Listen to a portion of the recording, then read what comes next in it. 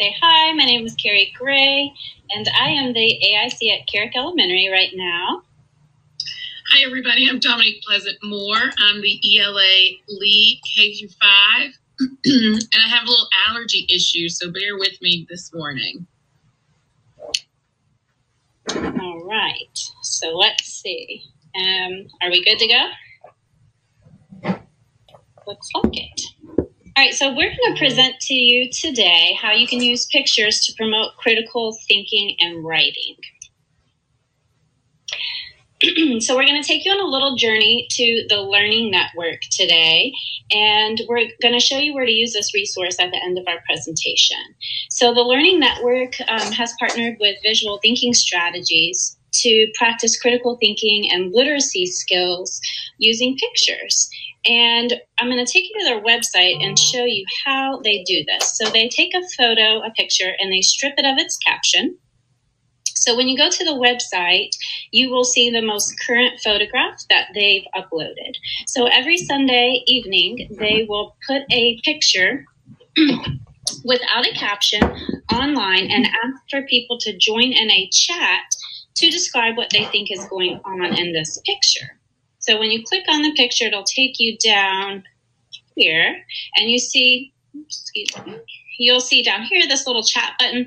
Already 488 people have um, put a chat uh, message up here about what they think is going on in this picture. So students that are 13 years of age and older can actually create their own account on here to um, add their ideas to the chat on the Learning Network However, many of our students are younger than that. So a lot of teachers are creating accounts and basically summarizing their students' ideas and then posting uh, what their students have come up with for the world to see. So down here, if you scroll down, it will give you directions and tell you what to do. And you can click on a full size image of the picture so that you can see it a little more clearly. It will tell you the questions that you're going to ask, which Dominique will hit on in just a minute. And then if you scroll down, um, it will tell you here that on Thursday afternoons, they post the big reveal. So they reveal what's actually happening in this picture on Thursday for all to see. So since this was just posted this week, they don't have the reveal up yet. So I'll take you to another picture and show you how you can go back and scroll to the bottom of any photograph. They have seven years worth of pictures on here, so you can go back and see any picture that you're interested in. And then if you scroll down to the very bottom, the reveal is posted there from previous pictures. Um, so you still have access to that. All right. So, as we said, there's over 250 images over the past seven years. So, you have a lot to choose from uh, when you're posting any of these for your students. So, Dominique, do you want to tell them about the questions? Yes, Carrie. Um, so, Carrie showed you the image. So, you'll post the image, and then you're going to ask your students these three open ended questions What is going on in the picture? What do you see that makes you say that? What more can you find? And we're also have we had the opportunity for Carrie to share a picture with a group of students and um, their responses. And what we she also got a chance to look again this week and so, in the beginning, when students are am- answering those questions, they may not give you uh, really lengthy response and you just kind of start digging deeper with them and then once they get used to the process they start feeding off of each other and coming up with um, different ideas and this helps them to think critically to think deeper. There's just so many opportunities that you could use these pictures in your classroom um, for students to think critically yeah, and so Dominique, if I may just add, um, I forgot to mention the visual thinking strategy. So this curriculum that was co-created by Abigail Housen, she is a cognitive psychologist, and Philip Yenawine, a museum educator. So they really created um, this idea to help students look closely at art. And the idea is that students can think critically and articulate their ideas through this activity using these three questions. So, one thing, uh, or several things actually, we'll think you'll see as we go over um, the process is that students are able to make more complicated and detailed observations using these questions in a picture. They're able to infer meaning from their observations. They can base inferences on the evidence that they see going on in the picture. And then they can consider multiple inferences. So um, they might hold a variety of different views as plausible as they listen to their peers come up with different ideas and then they can always go back and revise their thinking. So that's the beauty of of this uh, process is that they can go back and revise and change their thoughts after they hear some of their other peers or teachers comments about what they think is going on. And then lastly it gives them an opportunity to elaborate on their thinking. So we um, dominique you ready to moderate? I am ready carrie Okay, we're going to take you through the process because we think this is actually more fun when you're engaged and kind of get a feel of what it's like. So, if you want to jot down these questions to help you remember what is going on in the picture, what do you see that makes you say that, and what more can you find? So, at first, your first instinct is going to be just to kind of throw out there some general things that you see. See if you can make yourself go a little deeper into thinking why you think that's going on. All right, so I'm going to click on this picture. And uh, what we want you to do is open up the chat for our session right now and live chat to us what is going on in this picture. So Dominique is going to moderate and just kind of shout out to everybody things, different things that people are noticing and seeing, and why you think that's happening. So Matt Bolka says this is fun, but he's he didn't answer the question. All right. Oh, here we go. Cheryl, Cheryl Bibby. Yeah, Cheryl says, I think it's a celebration of some sort. Um, Deborah says a parade, a celebration. Jessica's wondering what they are all looking at uh, that's above them. Seems kid focused. Uh, Elizabeth, is this the day after quarantine ends? That's a good. yes. um, it's Jessica says it's hard not to be drawn to that red balloon. Yeah, I agree. It Um Deborah said, is this a thank you to nurses and doctors?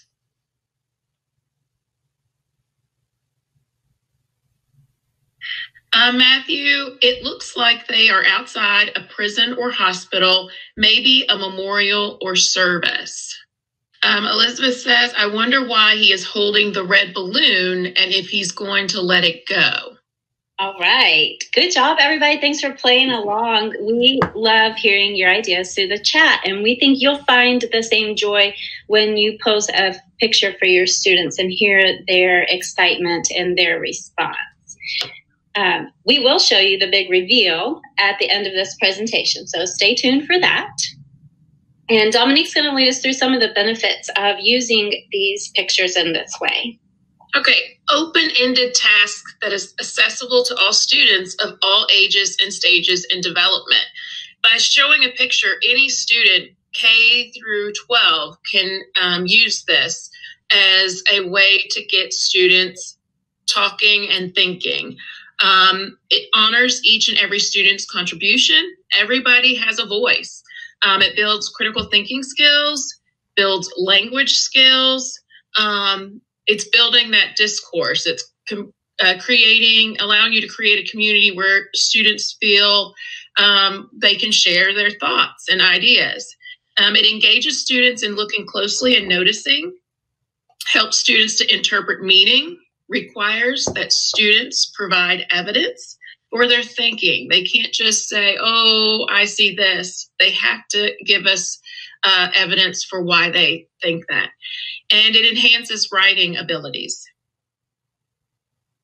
Yeah, there are so many benefits, and and one that's not listed on here is just the pure joy of this activity with your mm-hmm. kids, right? So we want to make learning super fun, and I'm going to share with you in just a minute some ways that I was able to see that live in the classroom. Um, so next we're going to walk through just some ways we think you can use this through NTI. Um, because we have such an advantage right now to be able to post things online and have kids respond in different ways. Um, so, a couple of ideas are just to post a picture in Google Classroom and put your three questions up and see what your kids might come up with in stream and allow them to comment on each other and you can comment back to them. Um, a new addition that we added this week is Jamboard. Um, Jamboard is becoming a really fun tool, and we're going to share with you in a minute a way to do that. Um, it's always um, a great idea to do this through a live Google Meet because when students are live with you in person and talking, you can probe them and prompt them a little bit further for some more details really easily. Um, and you can offer this as a writing prompt. So maybe consider having a weekly what's going on in this picture journal that you will do every week with kids. Um, it could be an introduction to a project or a compelling question where you can put a picture up and see how you can engage students thinking and get them excited about what's the learning that's coming up. Um, and then, of course, it'd be a good choice board activity. So I'm going to get off here because I want to show you uh, this example really quick. Um, Dominique mentioned that we were able to get into a classroom, and last week um, I was able to jump into Danielle Warren's fourth grade classroom at Carrick Elementary. And I'm um, not sure if you can see this. Let me make it a little bigger. Hopefully that'll help a little. I know it's hard to see on this small screen. So what I did is I took a picture and I just um, used the link straight from the full size picture from the website and linked it here in Google Stream and asked the students to join me in the fun task and told them that I would meet with them on Google Meet that day during their teacher's office hours to talk with them about this activity. And I posted the three pictures and asked them to just comment in the stream. So here were bunches of their comments. Um, they said things like people were walking on a bridge with grass under it. They see grass and leaves and people. Uh, they think there's water and grass. It looked like small boats. So they were giving little comments here and there about different things they saw. And I jumped back on and encourage them to give some more details. So I just told them, hey, I see all of these great comments you're putting on here, um, and that you're noticing a lot of things about people walking on boats, and it's a bridge of some sort. Can you give any more detail? So I'm just trying to prompt them a little to see what else they'll add. And then I was able to go in, and these are specific comments to um, specific students about their noticing and giving them feedback. The um, live Google Meet was probably the most thrilling time of my week last week. The students were so excited about this, could not stop talking about this picture and their ideas. Um, and the more that we talked about it, the more they came up with. And so what happened after the big reveal, so I went back on that same post the next day and told them I would be back to tell them the big reveal to come and join me. So a bunch of students showed up for the big reveal. And once I told them what was going on, they were just thrilled to hear that their ideas were validated. Mm-hmm. Um, but it made them even more curious about what was going on in the photograph. So it took the learning way further than I ever thought it would because then they suddenly wanted to get on Google Earth and start investigating where these people lived and what was really going on in the surrounding area. And after that, they were begging their teacher to do research on this. So it really took their thinking way further than I ever thought it would. Um, and so I asked them when we were finished what were some things they thought about this activity. Sorry, I just messed that up. And they say, they said, it's like a game where you guess, and I love guessing games. It's fun because you're trying to use your knowledge to guess things and find out what's going on in the picture. And another student said, after everybody talks about it, you can go back and add more thoughts. So one of the fun things uh, that we did this week was added on Jamboard.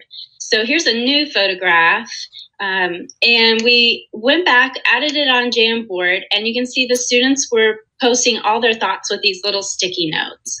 One of the things Dominique and I spoke about after seeing this is um, how much more detailed their thoughts are just one week later after doing this activity. The majority of these sticky notes included something they noticed and, and some evidence to support um, their reasoning for what they think was going on.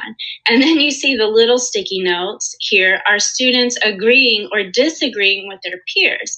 So they went back to add more comments um, agreeing or disagreeing using the smaller sticky notes.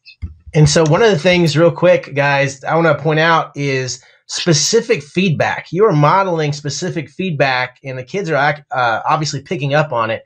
Uh, I used to teach blogging in when I was an elementary school classroom teacher and with my kids. And the hardest thing for kids was when they would leave comments on each other's blogs, they'd say they'd want to do stuff like cool, nice, awesome, I like it, uh, with a thousand exclamation points. But um, you you had to work hard and drill into them specific feedback. What do you like? Uh, what do you agree with? And you've got on here, I agree with because I mean, that's just so powerful when you're teaching specific feedback to kids and you're modeling that. So that's really cool. Yes, we were really excited to see this. We were super excited. I, and I got really excited when Carrie showed me how they were responding to other students. And you're like, wow. And, it, and this has only been a week. Can you imagine after several months of what kind, types of conversation and discussion or debates that could occur in your classroom? Um, just by using a simple picture. Um, so Danielle Warren is a really fun teacher, and she also did this Jamboard activity. So these are the same students, and what we discovered is that they love it so much. She's going to create more fun things. So that photograph with the sheep, um, she was going to have them create a story from the sheep's perspective and and kind of challenge them to do some additional writing with it. So super fun way to get our students engaged in critical thinking and writing right now.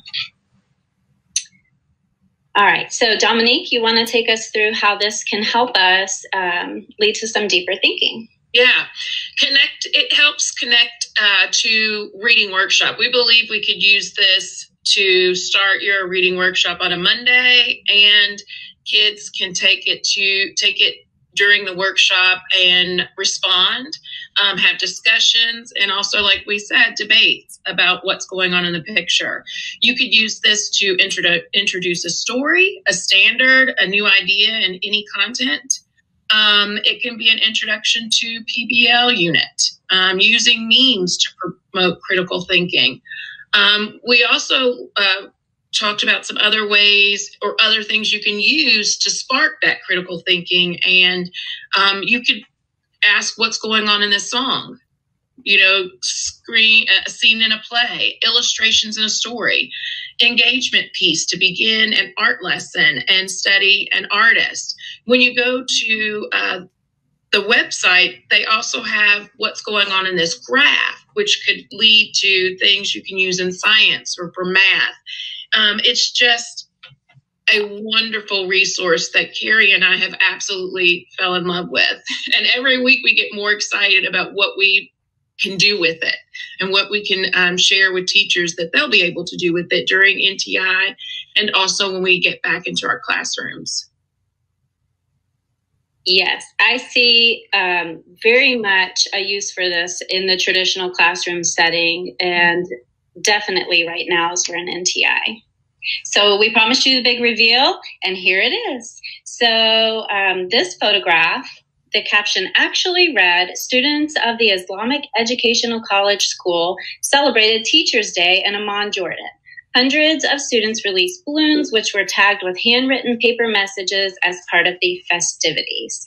Um, so we chose this because we absolutely agree that our teachers should be celebrated. And uh, someone mentioned this might be our celebration day after quarantine, and this might be our celebration day for teachers after quarantine for all the hard work that they are doing right now for our students. That that also looks like the celebration I'm going to have when I, I get to send my 18 month old back to daycare.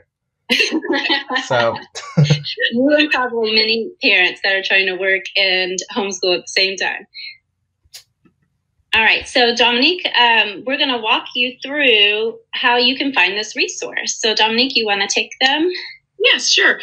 This uh, our uh, slide is also linked on uh, the page that you can click on. Uh, you just go to NTI Teacher Toolkit. And once you click on the toolkit, you're going to go to teacher, uh, teaching and learning resources, and you'll uh, click on ELA, and then scroll down, and just click on what's going on in this picture, and it'll take you right there. And you can also, in any search engine, just type in what's going on in this picture, and it will take you there also. So, and also in case you don't know, there are so many resources available on this ELA page. Um, this was just one that we thought was really amazing for this NTI work, but there are really a lot of choices here for teachers to go on. Um, these will prove really effective. I encourage you to go on and check those out. Um, we've also linked it down here at the bottom for you right there. So, did anybody have any questions? I feel like we got through really fast today. I know. Um, everybody's loving all the loving the activity. Um, I wonder. Just saying, excellent tool, and thank you. Well, let's take a crack at the one they just posted. Um, uh, yeah, let's do yeah, it. yeah, I got I got some ideas here. Okay. All right. So my thinking is this is somebody who's just gotten out of the hospital, uh, recovered from COVID nineteen, and the nurses and uh, doctors are are taking pictures and celebrating. Mm, I like that. Yeah. I like that thought. Or maybe they're celebrating all of the doctors as they walk in. Maybe these are all the nurses celebrating all of the doctors as they walk in for the morning. That's a good thought too. Absolutely. Although I don't see anybody wearing a mask there, so I'm not. Yeah, maybe it's not the No, COVID that's a nineteen. good point. Hmm. huh. These are some older cameras, are they not? Yeah, that's what I was noticing too. The older cameras, yeah, those aren't those aren't those don't look like iPhones. So No. Right. that's a good Maybe with the phone. and maybe they're you know I'm seeing name tags too. So noticing name tags, uh, man, like you can go just so deep with this activity, like the things you just notice. Uh, now I wonder if a kid a kid might not pick up on the older cameras, but as adults, we're like immediately that just strikes out to us. Hmm. Pretty neat. Uh, let's see. It's interesting they're all wearing hair nets, where maybe if they were in a hospital, they would be wearing what are the caps called that the nurses and doctors wear? Oh, yeah, good point. So this might be like a meat processing plant or something. Oh no, yeah, Um, someone shared, my son says people watching heroes come out of work. Hmm. yep. Um, Matthew says, I think this is some kind of research institute, maybe. All right, and then do you see Deborah's comment there? Meat packing plant and president is the president is coming at. Oh, it's the president of the meat packing plant. It's a big deal when the president of the meat packing plant comes. I wish I could zoom in to see what this tag on their um, jacket reads. That's a good point. Yeah. It's hard to see. Yeah, that that would be a good thing too. Like, I wish, like, you know, what's one thing you wish you had? Another detail you wish you had? Ooh, yeah. Yeah, neat. Well, thanks. I mean, this is awesome, guys. Thank you for this. Uh, this this session always gives me so many ideas. Uh, I'm really excited about this, and um, if you guys need these resources, you know where to go because they did a good job explaining where to get those.